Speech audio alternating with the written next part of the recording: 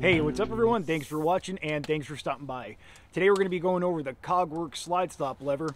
And before we kind of jump into this video and start talking about that product, um, I got to offer up or inject two small caveats before we jump into it. One, I'm in Washington State and it's pretty cold, damp, and dreary out here as it normally is. So just to the right side of the camera, I got a small fire going on with some cedar and it seems to be popping a little bit. So if you hear some weird popping noises or some smoke billowing by, that's why. Uh, two, every time I do a video or if I'm doing a review on a pretty neat product that came out, I normally do my best to speak more so on the side of brevity while still offering up the most relevant and factual information as it pertains to the product so you guys can make a decent decision whether or not you actually want to go ahead and purchase this. Um, with this particular product, it's kind of hard to just kind of go into and just talk about what's simply on the surface without actually talking about a little bit of the theory about the problems that you may or may not have when it comes to actually overriding your slide stop lever. So this video might be a little bit longer than normal, but I thank you for your patience. so when I first seen the, the Kagwerk slide stop lever come out, I was naturally pretty intrigued because I definitely sit on the side of the campfire uh, of people who they want to take that last shot where they think there's that last shot to take and they go to fire the gun. Uh, you get that click and then you either go through a tap rack or if you sit or and subscribe to the school of thought to skip the tap and immediately go to the rack you see your gun's empty then you go ahead and reload it and you kind of do what you have to do.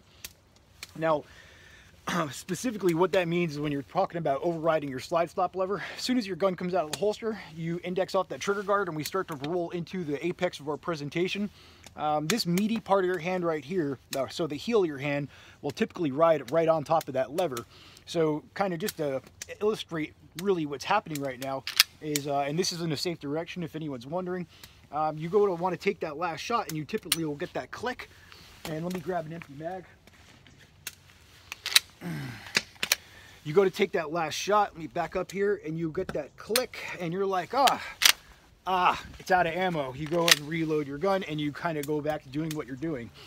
Now, that's been happening to me for so long with uh, a myriad of guns that it's just kind of become uh, a part of sh the shooting process, so to speak. So because of the fact that I'm constantly overriding this, I've developed and actually kind of built in certain habits to not necessarily circumvent the fact that I have been doing it, but to kind of give myself a little bit of uh, a little bit more of an insightful type of thought. So um, before my gun went away, here's one of the habits that I've been doing.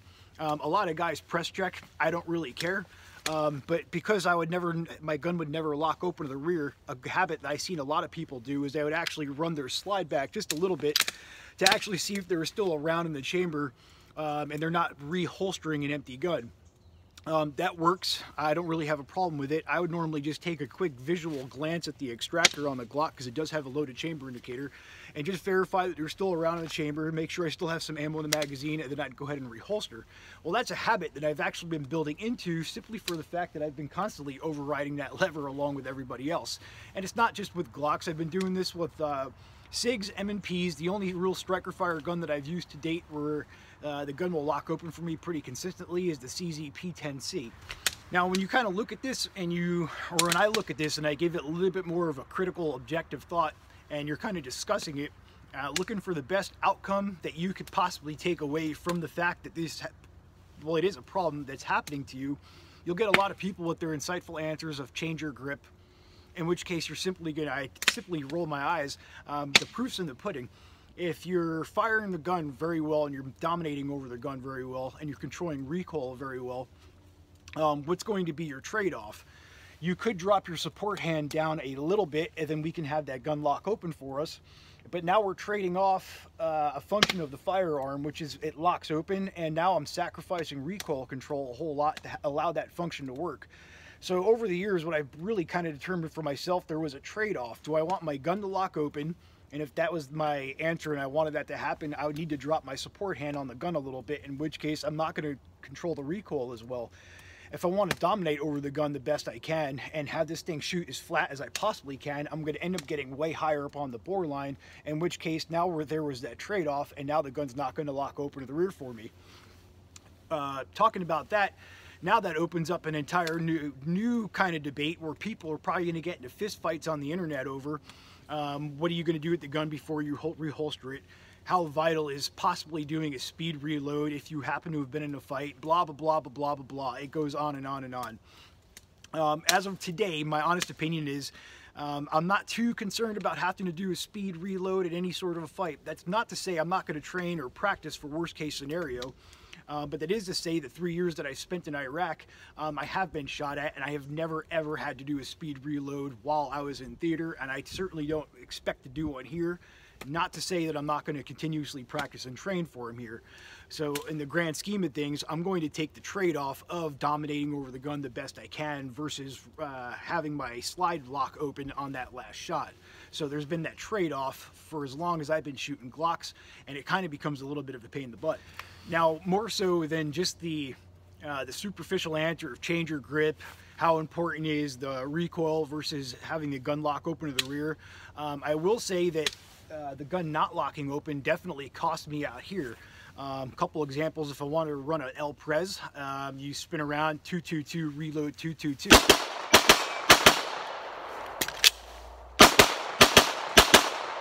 Well, my gun doesn't lock open to the rear, so what's that costing me right in there? It's costing me a shitload of time because I'm going 222, rack the slide, reinsert magazine, send the slide back home, 222. Another example is perhaps the fast drill.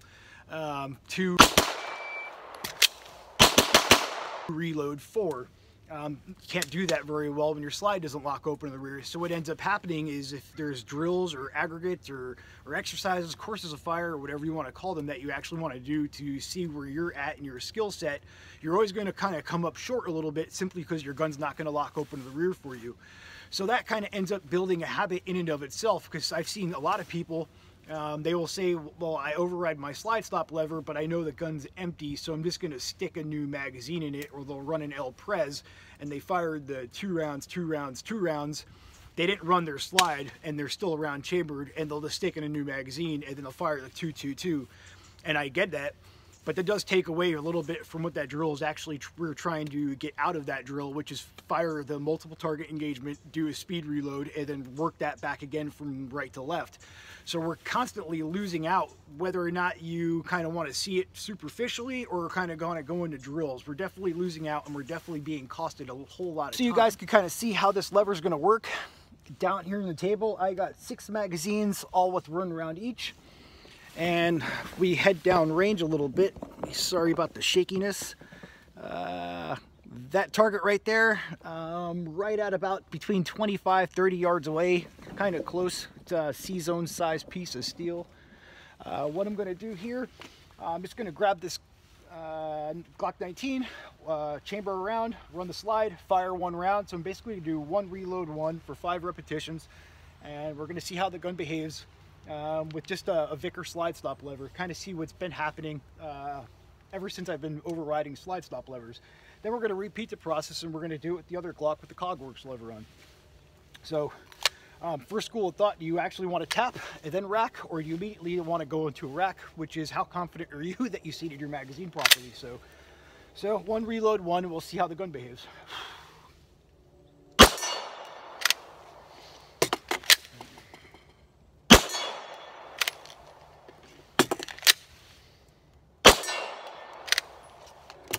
So we haven't locked open to the rear, not once yet.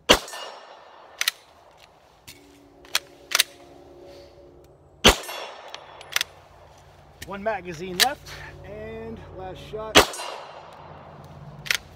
So Vickers slide step lever, OEM slide stop lever.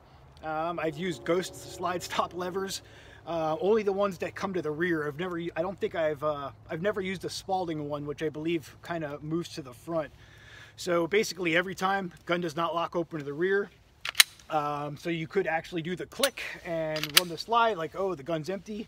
Go ahead and stick a new magazine in it and go back to doing what you're doing. Um, what we're going to do is set this back up and we'll do it with uh, the other Glock 19 with the Kagwerks slide stop lever and see how that does. All right, so everything's set back up the exact same way we had it before. Uh, again, we're doing this uh, next uh, repetition or iteration with the Kagwerks slide stop lever. Looking at this thing, it kind of reminds me of the arm from the uh, Arm & Hammer baking soda. I, I, don't know why. So just one reload one, see how this gun locks open the rear for me. Again, same target down there, 25, 30-ish yards away, whatever. And uh, let's see how it does.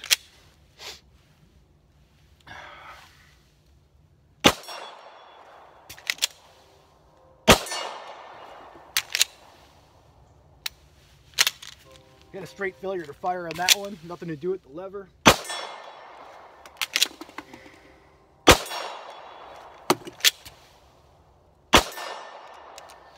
All right, so gun locked open every single time. Uh, I think on that third round, there was a failure to fire. I'm um, running pretty cheap 124 ammo today, but every single time, gun locks open to the rear.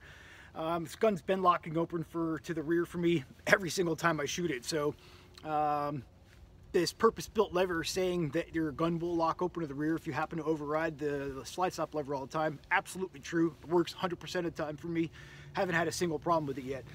The, uh, the only thing I kind of found weird so far, and we do have an empty gun right now, is if you do use your slide stop lever to reload and send the gun back home and put it back in the battery, um, this little bit of distance right here from constantly running the lever here versus moving your thumb back up here uh, took a little bit of getting used to and by a little bit I mean about 20 minutes of doing dry practice uh, 20 minutes and I, my thumb started picking it up right here, no problem. It just felt a little different at first because I've never felt a lever up here as high as this, but all in all, works 100% of the time.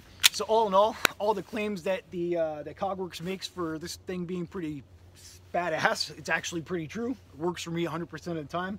Definitely dig it. Um, kind of touched up a little bit upon if you had that problem of constantly overriding the, the gun when it runs dry, you're definitely adding deliberate steps to the shooting process based on what you want to do before you, the gun goes back in the holster. Uh, a couple things left to talk about in here is the cons. Um, one big con is uh, if you happen to think this is ugly or not, that's kind of subjective and up to you. Uh, biggest one is, is this thing retails for 45 bucks. Um, I kind of, the best of my recollection right now, I do believe that might be the most expensive uh, slide stop lever you can possibly buy for a Glock right now. I don't know of any lever that costs more than $45. You could typically pick up a new lever, like whether it be a Vickers or a Ghost for like 20, 25 bucks. They're not that much. This one's at 45 bucks. Uh, as far as holsters go, um, not many much problems at all right there. Um, my normal carry rig is a Bawidamann in Gotham. Um, absolutely no problems there fits in. There's no interference at all in the lever. The only thing to take note a little bit, if I do carry on the waistband, I normally rock a Safariland. Now on this particular one, I have the Oregon Trail Defense uh, nub mod. Basically what that nub mod is, is just an oversized latch on the Safariland ALS and you really don't need it. I just wanted to give it a try and it works pretty okay. As soon as this gun comes out, and let me kind of get, see if I get some daylight in there it's kind of hard to see the daylight. This lever is clearing that nub mod, nub mod by probably about a millimeter or two. Um, it's not rubbing, but it's definitely a tight clearance, but there has been no indication that this is ever going to get hung up when coming out of a Safariland. Just know if you have a uh, an Oregon Trail Defense or an OTD, uh, the nub mod, it might be a little bit close when you're drawn from a Safariland. Other than that, every single holster I've had, there's been no clearance issues or anything like that. So all in all, a good buy. Um, is spending the $45 to you worth having your gun lock open to the rear without having to change your grip? I definitely think so. Um, having the gun lock open to the rear for me kind of opens up a whole new world of possibilities where I can actually see um, times that I would have had on certain drills if my gun had the ability to actually lock open the rear and I wasn't defeating it. So you can kind of open up whole new world of possibilities, uh, try drills that you haven't really been able to do before um, because simply the way your gun was behaving because of what we were doing behind it. So all in all, I think it's definitely worth 45 bucks. Um, thank you guys for watching. Thank you guys for your patience. I know this was a little bit of a long video and uh, I'll see you guys next time.